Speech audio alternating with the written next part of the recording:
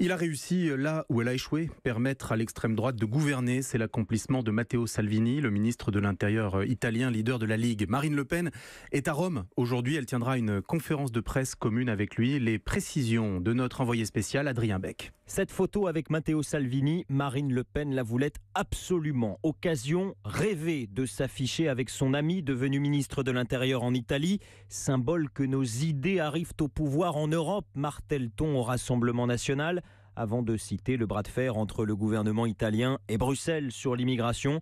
Rencontrer Matteo Salvini, c'est aussi montrer qu'on a un allié de poids, assure un cadre du RN, où l'on espère bien que la campagne pour les élections de mai prochain se jouera aussi au niveau européen sur un clivage patriote mondialiste. Une forme de Salvini mania s'est emparée du Rassemblement national, analyse un observateur mais pas forcément suffisant pour profiter du vent populiste qui souffle en Italie.